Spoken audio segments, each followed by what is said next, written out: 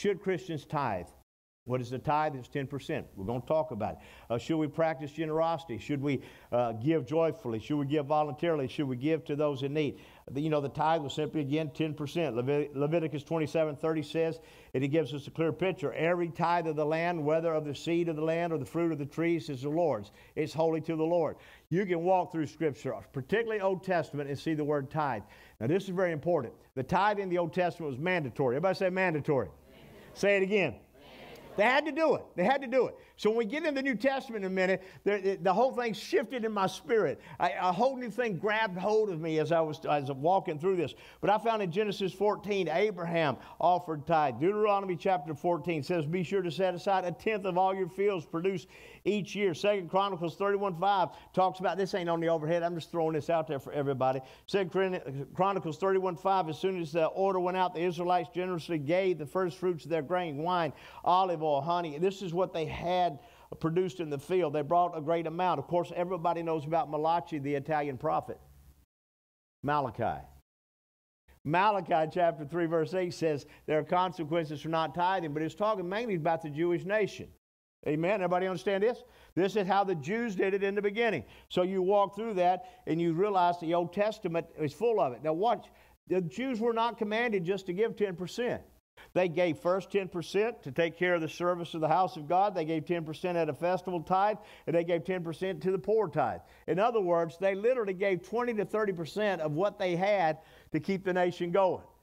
Realize that is a greater tithe. Everybody understand that? I mean, it's even bigger. We tend to assume that in the Old Testament, the Israelites gave a total of just 10%. It wasn't true. It's 20 to 30. So it's important to remember that tithing was first and foremost an act of worship. Now, here's our problem. Everybody say mandatory. That word mandatory takes the joy out of giving. If it's mandatory and I got to do, look, I have to give mandatory every year to the government. And anytime I've given my, when, when I get a, sometimes I've got a letter from the IRS said I didn't give enough, Kenny. Oh, you talking about painful. And I have to go into my coffers. I got to go into my savings. I got to go into the hidden places and pull money out and give it to the government. And you know what? Not one time has it been joyful. Not one time have I been excited about it. Not one time has it blessed me to do it mandatory. So when I walk through the New Testament and I see in the, in the New Testament is tithing in the New Testament. We'll talk about it. Overall, the New Testament approaches the topic of giving much differently than the Old Testament. The Old Testament is much more black and white. It tells you what to give. Again, mandatory, when to give, where to give. The New Testament is a little more gray. Now, I understand gray because I kind of live in the gray. I, I know people that are black and white. I'm kind of gray. I'm like HD. Very gray. You know, I mean, uh, in other words, I see a lot of grace in life. When you're gray, there's grace. Can I get an amen? When you're black and white, there's law. A whole lot of law. But I'm, I'm very gray in a lot of places in my life. So, but, but not bad in a bad way. It wasn't bad in a bad way. Really, what the New Testament does is raise the bar Given isn't a checkbox. It requires you to examine yourself and see are you living in the light of what Jesus has done. So if I could look at it in 2 Corinthians chapter 9, verse 6, it says it like this. But this I say, he who sows, gives sparingly, will also reap sparingly. In other words, you just give a little, you just give back a little. But he who sows bountifully, a lot, will also reap bountifully. So let each one give as he purposes in his heart. Everybody say heart not grudgingly or necessity, for God loves a cheerful giver. There's nothing like when you give, it forces you to smile. It's hard not to smile when you're giving cheerfully. Now, if it's mandatory, and I've been in churches where pastors guilt people into giving, and they, they, feel guilty. I feel guilty if I don't give. I got, I got to give my tithe. I got to give my 10%. Look, I sent out this week a whole bunch of letters to everybody that gave. And I could say, well, look, this wasn't 10. You didn't give 10%. You, did, you didn't even get 3% to, that, to the church. I don't know what you. I could have done all of that like the Mormon church. I'm not going to do it. I'm going to back off and say, you know what? I want you to give generously. I want you to give cheerfully. And you can't do it if it's mandatory. Right? Okay, we're going to walk on through it. So we are to be generous. Why? Because God's been generous to us. We should be generous with our finances and with our time, amen, and our talents. And, and there's a reward. the scripture says there's a reward for our generosity. In other words, what we do here matters there. So the reality is the New Testament never tells us how much to give, rather, it tells us to be generous. Each of us should evaluate our lives, ask ourselves, are we living and giving generously? Now, that's a big shift from the most stringent, mandatory, you got to give 10%. Right? Right? For some of you, think I'm fixing to let you off the hook. I'm not. All right, I'm going to walk you through it. When you ask the question, should Christians, should believers tithe, it's really the wrong question. Followers of Jesus should simply be generous. Uh, it, it isn't tied to our salvation. If I don't give, amen, God still loves me. Can get an amen? But, but I know we like, again, black and white answers. I get it all the time. People try to pigeonhole me and force me into saying, you got to do it this way, you got to do it that way. First off, let me just tell you to those who have been forgiven much, they love much. So if you know you've been forgiven and you've had a past that was messed up and you know you should have been bound for hell, you know that you shouldn't be blessed. We live in the greatest nation in the greatest state of America. It don't get no better than Texas. I'm telling you, I've lived in Alabama. Amen. I've lived in other places. I've been to other places. This is a great state to be in. I love this place, man. We, we're so blessed here in the West. Everybody say West. We, we over here in the West. You, you ain't got no idea. When my daughter comes back from a mission trip, when I talk to other missionaries about Russia, when I talk to them about China, when I talk to them about Korea, amen, I find out a lot of places a lot worse than what we got going on here. Amen. Even south of uh, even in South America, they didn't got what we got here. That's why everybody wants to come here. They love it here. Amen. So let me push you just a little bit. For most people here in America, giving generously will likely look like giving substantially more than they are currently given. After all, Jesus has given us much, therefore we can give to others. So uh, here I tell you this give joyfully. Giving shouldn't be something that is forced on you or coerced, it should be something that is done with joy. It just comes out of you. Amen. Uh, give voluntarily. I, I, love that scripture again. Let me go back to Corinthians 9 and just say it like this. He said, God loves a cheerful giver. I've often said people got cirrhosis of the giver. Your giver is just hardened up and you won't give because you were skint maybe in other churches. You were forced, you were coerced. Amen. It was you felt guilted into it. But you got to give out of a free will. Amen. Your heart's just got to be. So you give voluntarily. This builds off of the previous point. Part of giving joyfully means that we give just because that's what we feel like God wants us to do. So the focus should be on the heart, not on the guilt. It should be on our heart. So know this in the New Testament. Again, Pastor, does the New Testament teach on tithing? The New Testament never rescinds and never revokes the tithe. I know some people think it does, but it never did. Watch what Jesus said. And first of all, let me just say this I believe that Jesus tithed, I believe that he gave. I, I see. He even said you got to give to Caesar what Caesar. So if he say that, he's surely going to give back to the right places because this was his idea in the very beginning. Matthew 5 17, Jesus said, Do not think that I've come to abolish the law or the prophets. I've come to abolish, I have not come to abolish them, but to fulfill them. For truly I tell you, until heaven and earth disappear, not the smallest letter, not the least stroke of a pen will be by no means disappear from the law until everything is accomplished. So Jesus mentions the practice of tithing in the parable to a Pharisee and a tax collector in Luke chapter 14. He affirms the Pharisee's practice of tithing even though he challenges the heart. Look here in Matthew 23 23. Woe to you.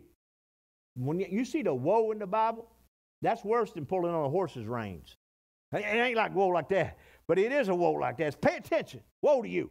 Listen, teachers of the law and Pharisees, you hypocrites, you give tithe, you give 10% of your spices, your mint, your dill, and your cumin, but you have neglected the more weightier matters of the law justice, mercy, faithfulness. These are issues of the heart justice and mercy and faithfulness. You should have practiced the latter, watch this, without neglecting the former. He said, don't neglect the former. In other don't neglect tithing, but your heart was wrong. Amen. And what you were given. So Jesus doesn't say tithing was wrong. As a matter of fact, let me tell you this Jesus teaches and allows believers to give more than 10%. In Luke 19, Zacchaeus, remember Zacchaeus? Wee little man was he, climbed a sycamore tree, looked down, saw Jesus, asked Jesus come eat with him. Who was Zacchaeus? He was IRS. He was a tax collector. He was a guy you hated. He was right next to FEMA. So y'all think they came to help. They came to make money for themselves. Take your money. Amen. So here, here, here's Zacchaeus. He stood up after having dinner with Jesus and he said, Look, Lord, here and now I give half of my possessions to the poor. You know why he said that? Because he had been stealing from the poor. Mandatory, taken from them. He said, I'll give 50%. Did you know Jesus never said to Zacchaeus, don't do it? He allowed Zacchaeus to go ahead and give 50%. Yeah, you go ahead, because that's going to, uh, what's it going to affect your heart? It's going to change your heart. Luke 14, 33, in the same way, those of you who do not give up everything you have, uh, you have cannot be my disciples. What's everything you got? Everything is everything. It's 100%. In other words, he says 100% of what you got belongs to me anyway. The air you breathe, the health you've got, the economy you've made, all that belongs to God to start with. So now we're talking about stewardship being good stewards. Matthew 19, 21, Jesus told the young man, Jesus answered, He said, If you want to be perfect, go sell your possessions and give to the poor, and you will have treasure in heaven. Then come follow me. There is a move on in, our, in America to be perfect physically. Oh, we make it up. We pull it back. We stretch it. We lipstick it. Amen. We do all these things to perfect ourselves. Jesus said, You want to be perfect? Give up everything you got. Come follow me. Again, that's 100%. So Jesus treats the tithe, watch this, as a great starting point. The tithe is training wheels. That's all it is. It's just training wheels. You know what training wheels are?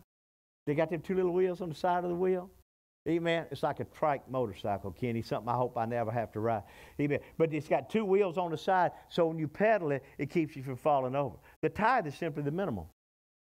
Because the heart has to be generous. Can I get an amen?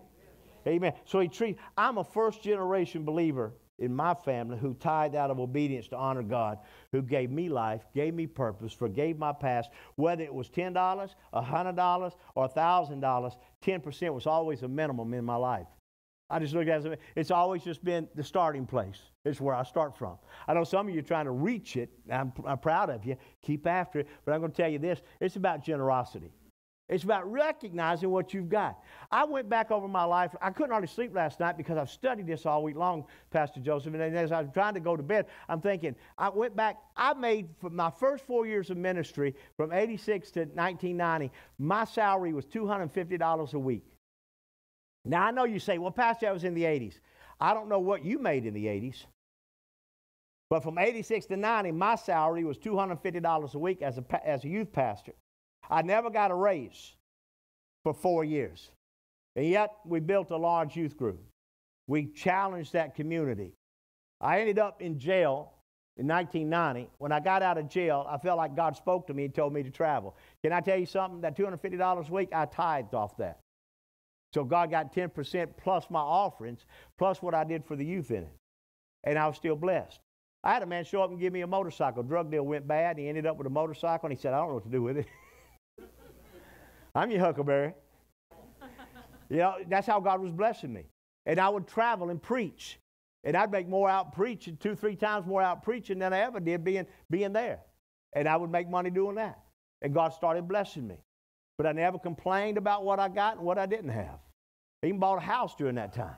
And then I traveled after I got out of jail. I felt like God spoke to me. He said, Go start, time, start traveling. The, my pastor at that time looked at me. He said, I want you to pastor this church. And he laid out the plans of a brand new church. You've seen it. It's right on Beltway 8 and I 10. It's called Family Church. Great big building there. I was asked to pastor that church. I said, I don't, I, I, that's, not, that's not what God called me to do. Let my brother in law pastor this church. Matter of fact, he still pastors that church now. So I, I, I push people toward ministry while I travel. In traveling, you say, how you going to make it? That's what he asked me. How you going to make it? You know what I told him? I said, Pastor, I believe I can make more than 250 a week. You hear me?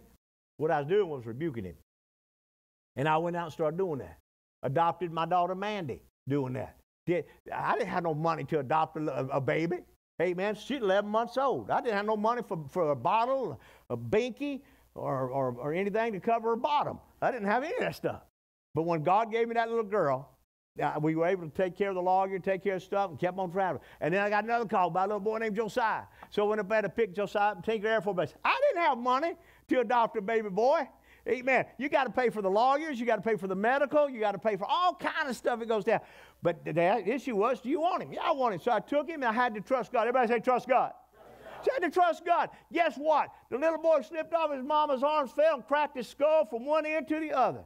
Oh my goodness, are you kidding me? Doug, I had to go to the hospital down in, in, uh, in Lafayette, Louisiana. This happened down in, uh, in uh, Abbeville, Louisiana. And busted his head. I'm in the hospital praying over him, big old watermelon sized head. God touched my boy, don't give him brain damage, help take care of him. And God touched him, healed him, brought him back. And now I'm stuck with a whole lot of medical bills. I ain't even paid off the adoption, but I got medical bills. What you gonna do? Trust God. Why? Because I've been generous. I've been a tither. Not only that, I've been giving over and above that with my heart. And next thing I know, that pastor, Pastor Wells, he sent out letters to everybody I'd preached for over the last three years. He said, listen, this just happened here. It was an accident, but, but Pastor Jerry's little boy fell, cracked his skull. Could you help him out? People started sending, I, I was crying. They were sending us money to help take care of his medical. They sent us so much money that we paid off the hospital and paid off his adoption. You don't know what happens in life when God can uh, it can be look like a disaster and God turn that thing around for your good. That's what he's done over and over in my life. Starting a church, when I started uh, my first church, we didn't have anything. Started up, he started in a building, seven people in, in a house, then a motel. Then God gave us the run of the motel. Then from the motel into an auction barn. And my, you know the story. Amen. It's been one thing on top, but it never stopped with this one thought that it, it, my giving never quit. I, I went from training wheels to being generous. And I watched that if God can get it to you, through you, he'll get it to you. Man came yesterday and gave me a pistol, a gun, big old gun, uh, one of them black powder Colt, Colt 45, 50 caliber. I don't know what it is. I could barely hold the thing up with, with one hand. And I looked at him just as honest as I could. And I said, Sir, I'll take this gun, but you got to allow me to give it to whoever I want to. And he said, You go ahead. I already got it in my head who I'm giving that gun to. This week, when I do a funeral of a friend of mine, I'm going to give that gun to, a, to somebody else. You know what God did? He looked at me as conduit. If I can get it through you, I get it to you. Amen. And that guy was good with it. Be honest with people when they give you stuff. I may not keep it, I may get rid of it. I had a guy offer me two stud horses and two mares this week. I said no. There comes a time you just got to say no. Can I get an amen? Took my fences down, so nobody, uh-uh, ain't got no room for no horses no more. Thank you. So it's a matter of honor. Everybody say honor. honor. Proverbs 3 9. Honor the Lord with your wealth, with the first fruits of all your crops. Then your barns will be filled to overflowing, and your vats will brim over with new wine. Now stop there. This is Proverbs chapter 3. Do you remember what's the most important verses out of Proverbs chapter 3? Trust in the Lord with all your heart. Heart in all your ways, acknowledge him, and he'll make your path straight. And then he goes on to say, Honor the Lord with your wealth, with the, what I've blessed you with, what I gave you. So when I look at this, 1 Samuel 2.30 says, Those who honor God, God will honor. So is our church going to last? I think so. See, in my heart, I'm going to tell you, you're one of the greatest outfits I've ever been around. I told my pastor this morning, I can't wait to get into church because I love, I love this house. Amen. You know, I just love this place. We've stayed up, we've prayed up, we've paid up. Amen. We did what mattered. And everyone, everyone does not possess the desire to give. I know that. Some folk, their faces are always going to have that sour look because they never release anything from their life. But I'm sad to say, even some in the kingdom just pretend to have it. Their outward noises never translate into any kind of personal sacrifice. I worked hard for my money, you know, and I'm not going to let it go. Someone might say or, or think, but we can only build up treasure in heaven by giving up treasure on earth. The only way I can get cha-ching in heaven is release cha-ching on earth. Amen. Whether my time, my talent, my, my, my, my tithe, my treasure, to let it go. Yeah, I'll, I'll just be honest with you. The scripture says where your treasure is, there your heart is. So if you show me your treasure, some of you have put your treasure in this house. You love this house, and that's where your heart is. Some people put a treasure in an RV. They'll put it in, in a motorcycle or a vehicle. Nothing wrong with owning all that stuff. That stuff's just a, a great getaway. It's a great diversion. I love deer hunting. You know that. I love my guns. I've given away more guns than I own. And I still got a lot. You know, most of the guns I've given away were guns that were given to me. Isn't that crazy? Through inheritance or other places like that. The Lord, Lord keeps blessing, and as He gets it, I, I, I never release it, and it makes me smile. Amen. It blesses me. See, I have been overwhelmed at the heart of this congregation. We officially we paid off both of our churches, you know, and our people are continuing to give to our mission, our vision. We got a youth conference coming up. Uh, we got uh, a young lady we've sent out of this church, Amen, Jill, who's heading over to another country. You know, you've blessed her. We're going to bless uh, about 14, 15 guys and women to go to Guatemala here pretty soon. This has been a giving church, a generous church. So it's important. God's intention is for us, amen, to understand this. For I know the plans I have for you, declares the Lord plans to prosper you and not to harm you, plans to give you hope and future. Everybody say prosper. God wants you to prosper. He don't want you meandering, staying back. Listen again. I, have been I've been in places where you think I've been up, I've been down, but I've never quit giving. I've never found myself stop giving. I just won't do it. So when I pray, I pray. When I fast, I fast. When I give, I give. Amen. I do what the scripture tells me to do. I Understand it. God's economy is always growing. Have you ever said to somebody, have a good day? Have you ever said, have a good day? Have a good day. When you say have a good day, it literally means you have just given away some of your own happiness, which cannot be reacquired. I can't get it back. When I say you have a good day, I'm giving away something here. here here's the thing we have that concept with money. It's a zero sum affair. We think in our mind that there's only so much money in the world. And if we give some away, we'll have less. Thinking God's riches are limited is as unfounded as thinking well wishes are limited. How many know I can keep saying to everybody I meet, have a good day? I can bless everybody over and over. Or, or smiles are limited. I only have four smiles today, and I've already given away four, and you ain't getting one. Are you hearing me? Are you hearing what I'm saying? We, we just think that. It's crazy to think that way. We, we think love is, is limited. I've, I've loved one woman, I'll never be able to love another. That's foolishness. That's crazy thinking. God is unlimited with resources and ways to bless you and get things to you. God gives more to those who give the most. I mean, there's just something about it. In fact, let me just say this it's the other way around. The more you wish others well, the better you feel. The more you smile, the more smiles you create. The more love you give, the more you feel loved. And so it is with God's wealth. The more you give away, the more you create. God's economy goes way beyond math and reason. His economy is always growing. Amen. So let's talk about the principles that are woven through the scripture. They're, they're all through the scripture. You'll have to stay up with me, Cheryl, because I'm walking away here. Uh, Malachi, amen. Malachi says, Test me now in this, says the Lord of hosts. I will not open up for the, you the windows of heaven and pour out, amen, a blessing upon you. Amen. So I'm, I'm, looking at Scripture and I'm asking the Lord this week, Lord, what is it that you want me to do to help folk understand this? And He said, Well, you. And I was talking with another pastor this week, Amen. And he says to me, He says, uh, You know how I know how wonderful life is? Uh, is that it's simply this that when I give, I get a buzz. And I thought, that used to be me when I drank. Can, I'd get a buzz. So, so what I decided to do, you put that in your pocket, take her out to eat. So what I decided to do is, it's like I felt like the Lord said to me, uh, give away your paycheck. Now, I, I, can't give it all away. I can't give it all away because I, I still save my tithe. And I still have other things that I'm doing. I know what's in your pocket there. Amen. This is so you'll, there you go. Now you smile. Take your daughter out to eat. Amen. So, so what I found to do is, is you cannot give without grinning.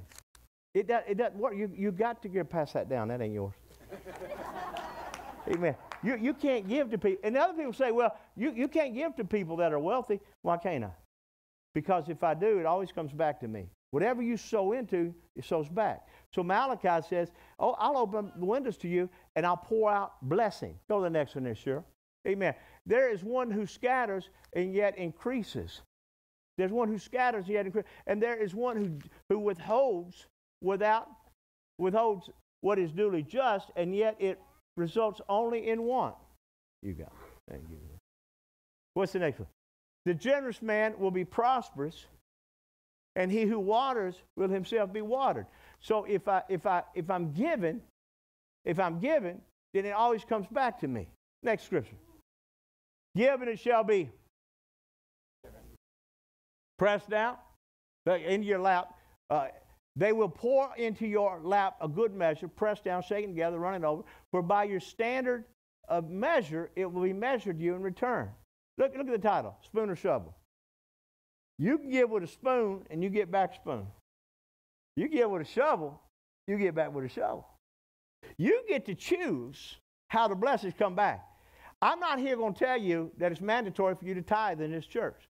But I will tell you, as far as I'm concerned, tithing is the training wheels. It's the beginning place. Now, God didn't command that I give 30%, as He did the Jewish nation. I'm not here supporting the nation. I'm here supporting the American nation, the U.S. of A. I already, you know, already know. You, most of you understand it's 30, 33% when you give. Amen. They're going to take it out. So then when you say, I got to go to church, I got to give a mandatory 10%, that's 40 something percent. God, I, I ain't got nothing left over. But I can tell you this I have blessed this nation with my giving, but I don't get a whole lot back for it other than potholes. But everything I have blessed God with, and the house of God with, God makes sure that it comes back to me. And over and over. By the way, that wasn't but half my paycheck. We got another church I got to deal with. All right. So if I run out of money, don't get mad. Just, but I understand. And I don't, you know, you do what you want to with it. But I'm just telling you this: that it's important when when you give, you can't give with frown. I I have I laid out stuff for my children, and they already know it. But on the flip side of life, and I've been a blessing to my kids. But on the flip side of life, I, I, uh, is there another scripture? Are we done? Is that it? So we're going to close with another one. Chronicles. Let's go back to Jabez. And we'll close with this one. Because I love this, I love this scripture, man. I, I, just I love I love the boldness in which he did it. See, it's the way God made things to be. Generous people are blessed. They give more, they receive more. They have more, people like them. Did you know folk like generous people more than snobs? Do you know that Scrooge never had friends until he got his heart right? Amen. There's something about so God cares for you and He wants to bless you, but He's also shrewd. This is what I understand about God. God's wisdom is amazing. He knows to give resources to those who are using what they have well. A good employer will do the same thing. I entitled this message, Feed the Hot Hand. And I, I know some people say, what, what did that mean? I'm going to tell you what it means. Whenever you are in basketball, See, I used to coach basketball. And if one of my players started hitting, feed him. Feed him the ball. I, I coached girls basketball too. That was hilarious. Uh, but if she's hitting, feed her. If, if this guy is catching the ball, throw that ball to him. Feed the hot hand. And there are times that you start giving that God looks at you and says, you know what? That brother, that sister got a hot hand. And the more you give out, the more God gives and he starts feeding the hot hand. He starts, as an employer, when I see uh, uh, certain uh, employees doing great things, it's easy for me to feed them. Amen. To bless them, to do things. Well, even the volunteers. When I see folk volunteers, I, I got. I want to be able to bless them. I want to do something for you. Feed that hot hand. Amen. Because somebody's going to succeed there. God will give to those who will use his money as he intends. When we respond in faith to God's call, he always provides the resources. He blesses us so that we can bless others. We are blessed in order to be a blessing. God has blessed you in order to be. I can look down the history of this church and tell you who blessed this house and how God blessed them and have conversations with them. It's an amazing thought. So First Chronicles 4 9, I, I, don't think it's on there, sister. You may want to find it again, but you remember it from last week. It's the prayer of Jabez. The scripture says that Jabez was more honorable than his brothers. His mother had named him Jabez, saying, I gave birth to him in pain. That boy was a pain. That boy had issues. That guy gave me troubles. Verse 10 says, Jabez cried out to the God of Israel, Oh, that you would bless me and enlarge my territory. First Chronicles chapter 4, verse 10. Oh, that you would bless me. Remember last week we put an exclamation after oh? Would you say it with me? Oh, that you would bless me and enlarge my territory. Let your hand be with me. Keep me from harm so that I will be free from pain. And God granted him his request. I have never heard anyone say, God is blessing me too much. I just I got too much. It just keeps coming. I got to, I don't know what to do with it. You know what I found here in Texas? When somebody hits oil, they're going to dig another well. And they're going to get another well. And they just keep going after it. Because blessing, you just love blessing. I love blessings. I love when God blesses. Heads down, eyes closed. You got a lot to ponder, church. It's a hard issue. God loves a cheerful giver, not somebody that's been coerced, has to. I would say, even there are times you have blessed family, and it was easy to do it when it was out of your heart and you were cheerful. But if you ever felt like you were coerced into doing it, it was no fun. It's just mandatory. God, our giving is a part of our worship. I want you to forgive us when we stood at times and said, nah, I can't release that, when you were waiting to bless us when we did. I ask you to bless this house. Prosper this church as you've prospered all through my life. I've seen you do it. God, turn us loose. Help us to turn things loose. There are things I can't take to heaven. Tell me who to release them to. God, help me to understand what a blessing it's been be your child. You've forgiven my past. You've released me from my guilt. You've given me a future, plans, prosperity. Yeah, there's been pain. There'll be pain again. But I'm going to ask you to take it away. And I believe boldly, God, you'll do it. You'll hear my request. Enlarge our border. Give us the ability to forgive, to release, to let go, to learn, to gain more wisdom. I love you people. I hate seeing them when they're not blessed. I hate seeing them, God, when they when they've self-destructed because they won't listen to you. Help us to be people with generous hearts. In Jesus' name. Amen. Amen.